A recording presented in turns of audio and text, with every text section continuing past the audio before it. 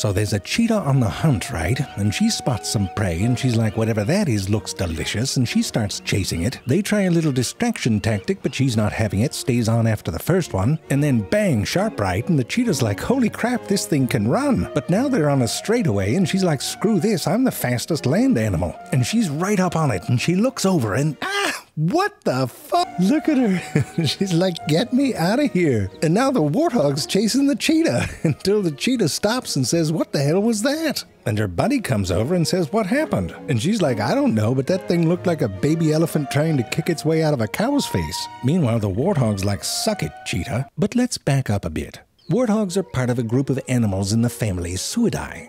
You've heard of pigs, right? Well, they're in that family too in the genus Sus. There's like a billion pigs, and no one seems worried about it. What happened was they used to be wild pigs, but then a group of them said, We're to cozy up to the humans. They seem nice. What could possibly go wrong? So the humans asked, What do you like to eat? The pig said, Everything. Everything? Really? What about shit? Yep, we're not mad at it. And that gave the humans an idea. This is called a pig toilet. It's an outhouse on top of a pigsty, and the pigs eat the poop and the people eat the pigs. It's like that Circle of Life song in The Lion King, but reimagined by a German fetish pornographer. Anyway, now there's over a billion of them, and they're up to something, because they're smart. But listen about the mazes. Scientists keep putting pigs in mazes, and then they're like, oh my god, the pig solved the maze. But meanwhile, have you ever been in a forest? It's like nature's IKEA. It's impossible not to get lost. But pigs do fine in there. They can even sense the direction of Earth's magnetic field. So they're probably doing the mazes easily and saying the humans seem smart, but their architecture is really unnecessarily complicated. We'll have to redo it when we take over. And that's what's happening, people. If you need proof, look at this. They only use two tippy toes on each leg to walk. So why do they need the other two in back? I'll tell you why. They're keeping them around to operate our computers and machinery. And if you didn't even hear what I just said, because you're all like, look at the cute pig with the soccer ball, well, you're falling for their scheme. They made their way in the storybooks and the motion pictures. Look at the piglet, look at the piglet. Never mind, there's a billion of them. And here's the deal with the piglets there's a dark side there. Sure, they're cute, but piglets are one of the only mammals to be born with weapons designed to be used against their own siblings. They're born with two pairs of canines and two pairs of incisors, top and bottom. These teeth are angled in such a way that they create a vicious side bite, perfect for lacerating someone's face who's going after a nipple with your name on it. And that's what they do. They fight for a nipple and then they stick with it. And they have to do it fast, too. The first 24 hours or so are crucial. That's when the mother's milk contains colostrum, which the babies need to establish their immune system. You know what else the babies get from their mother? A bunch of healthy gut bacteria. You know how they get it? They eat her poop. So while you were all cuddled up in a onesie getting a lullaby, the pig babies are getting bit in the face and eating shit. Put that in the prequel to Charlotte's Web. Anyway, even if you do get a nipple, they're not all created equal. The ones up front near the head, they work better, and the stronger piglets usually get those. The ones in the back are janky, like when you try to get soda from a dispenser that's running out. You know, when it sort of sputter farts a couple drops into your cup. The runts are back there, sucking the hind tit. And sometimes they need a little extra. Females in the same group will often let piglets from another mother suckle. Think Airbnb, but for nipples. What's crazy is this might result in their own biological child starving to death. It's a whole Game of Thrones thing, and the weak ones don't make it. Now, if you think that being a pig baby is hardcore, you should see the hoopla that the parents go through to make them. These are sus scrofa, the wild pigs in the lineage that gave us the domesticated ones. The females live in groups of about three to five along with their young children. The males kind of do their own thing until mating season.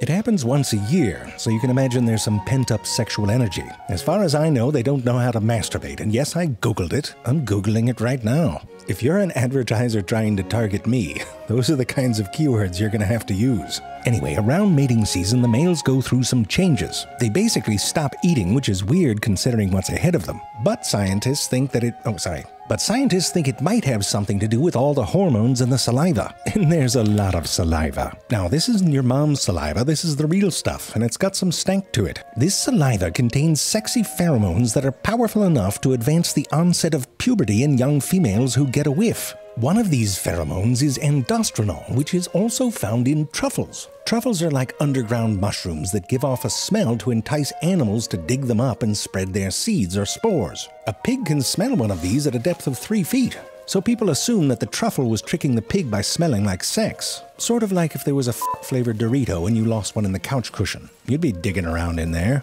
But then, of course, a scientist had to do an experiment to see if it was true. And it wasn't. It was a different compound, dimethyl sulfide, that the pigs were smelling for. And once again, science ruined a perfectly good story. Anyway, I digress. So this male, who is very horny and hungry at this point, tries to find a group of females to wipe his spit on with the hopes of getting them horny too, and then it's a party. The problem is there's other males doing the same thing, so it's lucky they have the padding. During mating season, the males develop this thick layer of tissue, almost like cartilage, under their skin on their backs and shoulders. This helps because the males beat the living shit out of each other. A lot of their fighting involves jockeying for position and then lacerating the side of their opponent. They've got good weapons for it, too. On each side, both of their canines point upwards. This is because their alveolar process, or bony thing that contains the tooth socket, is rotated outwards. On the warthog, it's even more pronounced, but of course, because nature's crazy, there's a suid that took this to the extreme. The Babirusa broke off from the other suids about 12 million years ago. They wound up on these islands in Indonesia, and life is good. No natural predators, a good amount of food. They only have two or three babies at a time, so the siblings aren't trying to kill each other. So they've had some nice quality time to evolve into their true form, which happens to be goth. Demon Goth. They look crazy, sort of a Satan's unicorn vibe. Their alveolar process has rotated so far that their teeth emerge through the skin on their face. They don't stop growing either, and if they're not tended to, they can curl around and pierce the skin again. Babirusa not impressed with your tongue piercing. For a while, people thought that the upper tusks might play a defensive role in combat, sort of like a face protector. But the extreme rotation of the alveolar process means that the roots of these teeth are quite shallow, making them too brittle to be effective. And their fights, to be honest, look a bit more like macho hugging. Oh, yeah, you call that a hug? How about this one? Yeah, it's tight. A tight, warm, fuzzy hug. Warthogs fight more like those bros who get up all into each other's face and get really close so they're almost kissing, but not kissing. But they could kiss if they wanted to. Unlike the Babirusa, the warthog has plenty of natural predators. So the warthog evolved these long legs so they could run. The problem is that moved their face farther away from the ground, which is where their food is. So when they eat, they have to kneel down. But it's not regular kneeling, it's wrist kneeling. Here, flop both of your wrists down like you're pretending to be a bunny. That's what they're walking on, the backs of their wrists. They're creative, they have solutions for all sorts of things. For example, look at all those bugs. That must be annoying. Well, when it's wet out, they take a mud bath. It's cooling and it keeps the bugs and ticks and other parasites away. But in the dry season, there's not enough mud to go around, so they figured something else out.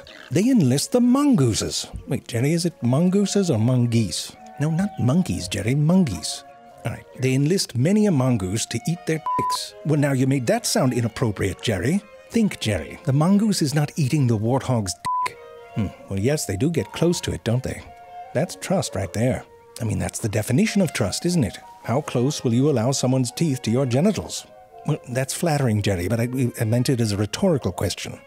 No, I don't want to answer it for you. Fine, three inches. Well, I know that's farther than what you said, Jerry. Well, it's close. Jerry, you don't use the bleep button just because you have hurt feelings.